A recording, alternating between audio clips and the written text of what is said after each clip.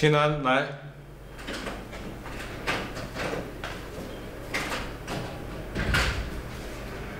来，你坐在这里。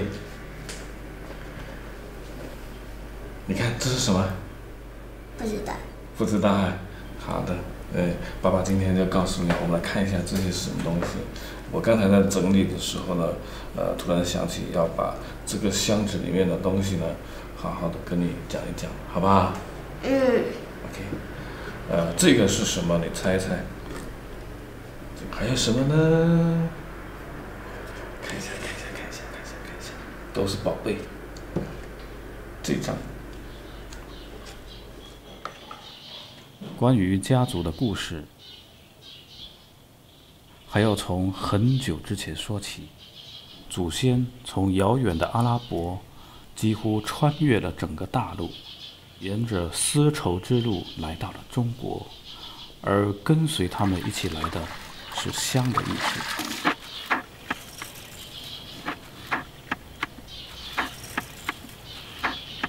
我们家族。是在这里手工做香的开源者。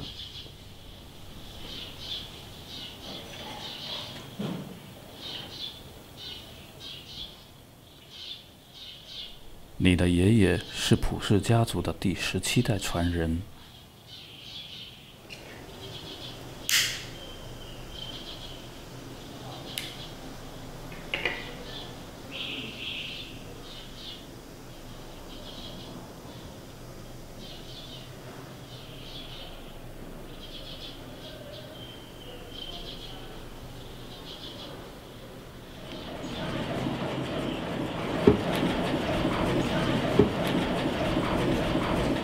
名字叫普阳公，是普氏制香家族的第十七代传人。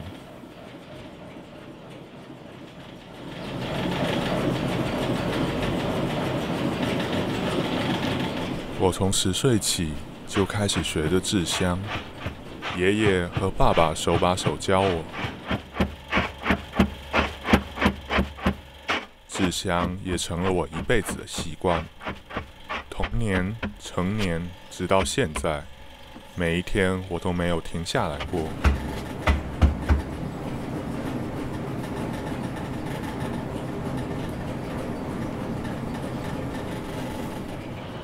制香是一项很艰难的工作，它并不容易。我们需要用我们的双手亲自创造出所有的东西。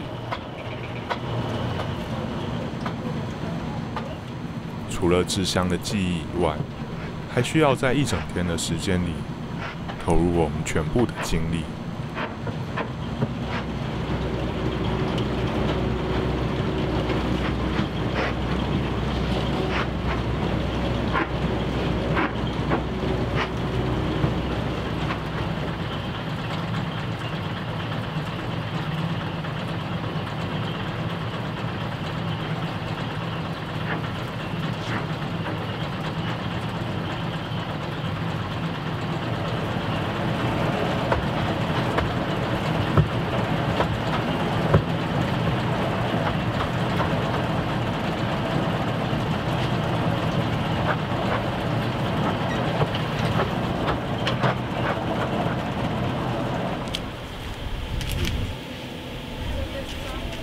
我们家族在当年非常有名。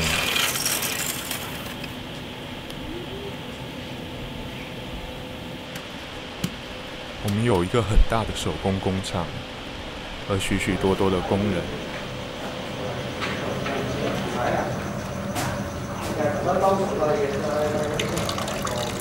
然而，我们也曾有过一段艰难的时期。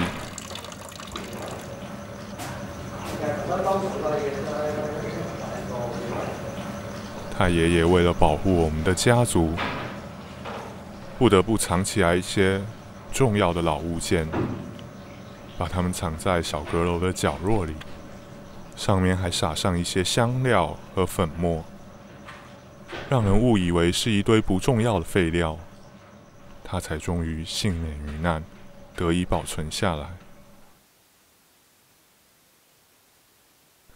那段日子之后。我们家族的生意再也不像往昔那样了。现在我仅仅靠着一双手，在那间老房子里做出来所有的香。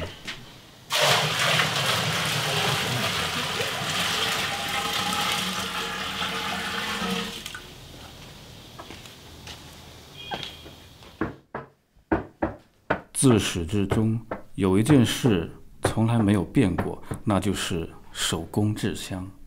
它深深扎根在我们家族，不只是我们的工作，更承载着我们的生活和故事。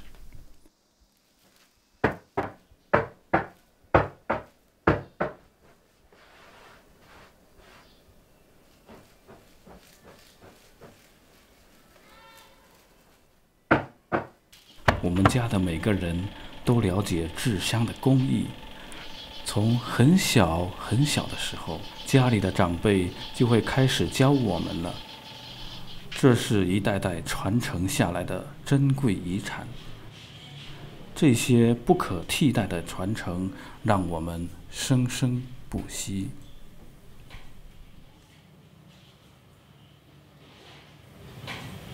在我们家族里，每个人的名字都与一种香料有关。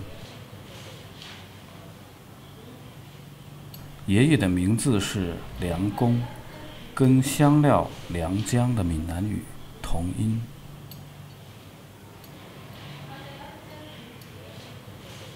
爸爸的小名叫沉香，是一种香的原材料。好吧？嗯嗯。好，接下来你会不会会不会想说，哎，我的名字里面有没有跟香有关系的呀？啊？你想一下，噔噔噔，想一下。你这么说，肯定是有了。对呀，一定是有的。你看啊，因为我们普济兰乡市的每一代人呢的名字都跟乡有关系。嗯，那有什么关系？我告诉你啊，在这里，这四个字怎么读？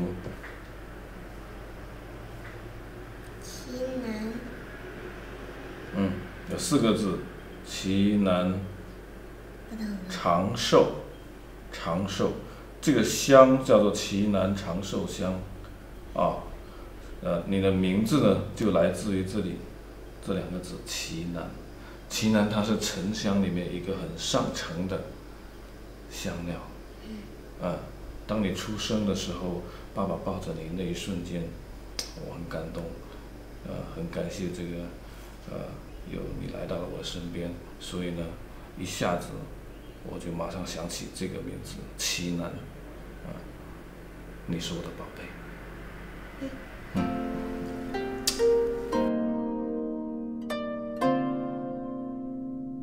所以在爸爸和爷爷制香的时候，总觉得我们身处于香的故事里。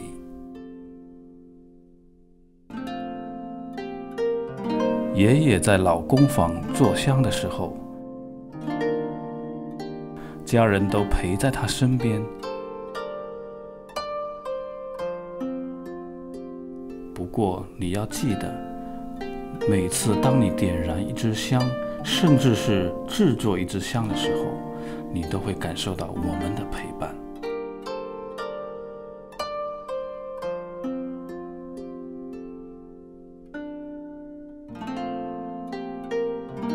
会是一个人。爸爸和爷爷会陪在你身边，做你坚强的后盾。这就是秤的平衡啊！用小小的称少量。你是我们家族故事的下一个主角。